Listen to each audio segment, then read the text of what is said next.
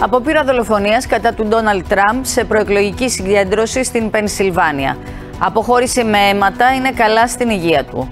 Ποιος είναι ο 20χρονο ελεύθερος σκοπευτής που προσπάθησε να σκοτώσει τον Τραμπ; Ένας πολίτης νεκρός, δύο τραυματίες σε σοβαρή κατάσταση. Νέα σελίδα στην υπόθεση Νοβάρτης ανοίγει η αποκάλυψη για ηλικιώδεις αμοιβές στους προστατευόμενους μάρτυρες. Ποιοι ζητούν να δημοσιοποιηθούν τα ονόματά τους; Και τώρα, το μεσημεριανό δελτίο ειδήσεων του ΣΤΑΡ με τη Ράνια Τραγόμανη. Καλό σας μεσημέρι, κυρίες και κύριοι. Παγκόσμιο σοκ έχει προκαλέσει η απόπειρα δολοφονίας κατά του Ντόναλτ Τραμπ στη διάρκεια ομιλίας του στην Πενσιλβάνια. Τον πυροβόλησε 20χρονο ελεύθερος σκοπευτής. Ο πρώην πρόεδρος των Ηνωμένων Πολιτειών και υποψήφιος των Ρεπουμπλικανών για τις εκλογές του Νοεμβρίου απομακρύνθηκε με αίματα στο αυτί και το πρόσωπο. Η σφαίρα πέρασε ξιστά από το κεφάλι του. Ο δράστης έπεσε νεκρός από τα πυρά ελεύθερων σκοπευτών, ενώ ένας πολίτης σκοτώθηκε από τις σφαίρες που είχαν στόχο τον πρώην πρόεδρο. Ο Ντόναλτ Τραμπ είναι καλά στην υγεία του.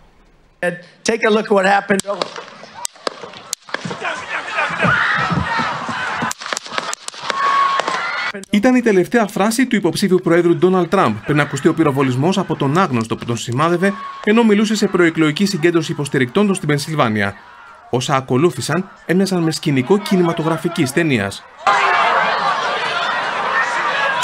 Την ίδια στιγμή ακούγονται απανοτοί πυροβολισμοί. Ο ελεύθερος κοπευτή που βλέπετε σκαρφαλωμένος πάνω σε μια στέγη έχει εντοπίσει το δράστη και τον πυροβολεί συνεχώς. Ο κόσμος έχει πανικοβληθεί.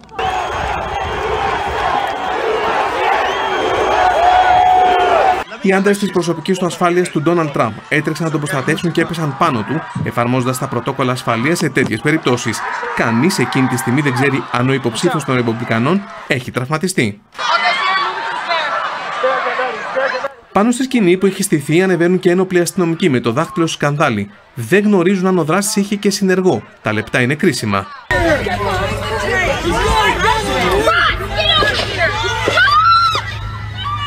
Σε μια άλλη ταράτσα κτηρίου, οι υποστηρικτές του Τραμπ βλέπουν το δράστη αλλά δεν ξέρουν αν είναι ακόμα ζωντανός. Επικρατεί πανδαιμόνιο.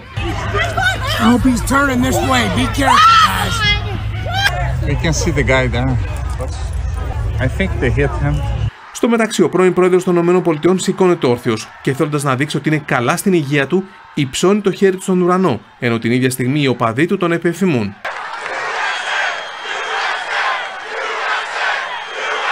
Ενώ είναι πάνω στη σκηνή, οι άνθρωποι της ασφαλειά του πρέπει να βεβαιωθούν ότι είναι ασφαλείς για να τον μεταφέρουν. Από τα ανοιχτά μικρόφωνα ακούγονται οι διάλογοι που έχουν μεταξύ τους.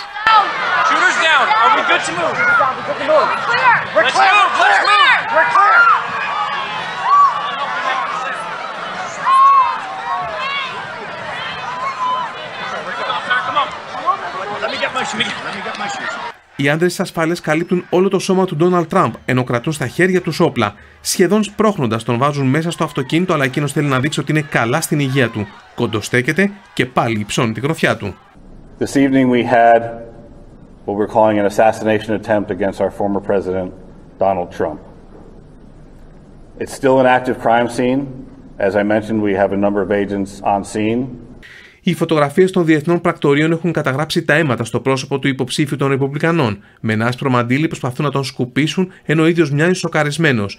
Η απόπειρα σε βάρος του Ντόναλτ Τραμπ κάνει αμέσως το γύρο του κόσμου, σε όλα τα μεγάλα δισογραφικά δίκτυα. The attempt on the life of the former president took place just as Mr. Trump was speaking to crowds in the state of Pennsylvania. Gunshots were heard, and Mr. Trump was led to safety with blood on his face. He appears to have been struck on the outside of his ear, and he later confirmed that it was indeed the upper part of his right ear that had been pierced by the bullet. Ο Ντόναλτ Τραμπ μεταφέρθηκε για τις πρώτες βοήθειες σε κοντινό νοσοκομείο, ενώ δεν υπάρχει κίνδυνος για τη ζωή του. Μάλιστα, πριν από λίγη ώρα προσγειώθηκε με ασφάλεια σε αεροδρόμιο του Νιου Τζέρσεϊ. Πάμε όμως, κυρίες και κύριοι, να δούμε ποιος είναι ο δράστης που αποπειράθηκε να δολοφονήσει τον πρώην πρόεδρο των Ηνωμένων Πολιτειών. Μαζί μας είναι ο Δημήτρης Σουλτογιάννης. Έχει συλλέξει όλες τις πληροφορίες, Δημήτρη. Καλό μεσημέρι, Ράνια. Το FBI αναγνώρισε τον 20χρονο Μάθιου Κρούξ από τον Bethel Park της Πενσιλβάνια ως τον δράστη αυτής της απόπειρας δολοφονίας. Το κίνητρο Ράνια παραμένει ακόμα άγνωστο σύμφωνα με το FBI. Πάμε όμως να δούμε μαζί ποιος ήταν αυτός ο άνθρωπος. Εγεγραμμένο Ρεπουμπλικάνος, ο οποίος θα ψήφιζε για πρώτη φορά στις επερχόμενες εκλογές του Νοεμβρίου έντονα πολιτικοποιημένος όταν ήταν 17 ετών. Μάλιστα, είχε κάνει και δωρεά σε μια επιτροπή πολιτικής δράσης για τη συσπήρωση των δημοκρατικών να ψηφίσουν. Ο Κρούξ Ράνια, ο οποίος αποφύτησε από το Λύκειο το 2022, ήταν ένας καλός μαθητής με βραβεία επίδοσης και να πούμε ότι αναγνωρίστηκε μέσω DNA καθώς δεν έφερε ταυτότητα πάνω του. Επίσης, το ερώτημα εδώ, Ράνια, είναι αν ο συγκεκριμένος άνθρωπος ήταν ένας μοναχικός λύκος ή αν αυτή ήταν μια πιο οργανωμένη προσπάθεια εξουδετέρωση του Τραμπ. Η έρευνα είναι σε εξέλιξη. Να σου πω ότι ο δράστης δεν ήταν ιδιαίτερα ενεργός στα social media. Σε κάθε περίπτωση αυτό είναι κάτι που ερευνούν οι μυστικές υπηρεσίες καθώς προσπαθούν να καταλάβουν αν υπήρχαν οποιασδήποτε ενδείξεις ότι θα έκανε κάτι τέτοιο. Δηλαδή έχουμε δει ράνια στο παρελθόν κάποια αποσταρίσματα και μηνύματα στο διαδίκτυο να κρούν αν θέλεις στον κόδωνα του κινδύνου για το τι πρόκειται να συμβεί. Να σε ευχαριστήσω πολύ για την ενημέρωση Δημήτρη.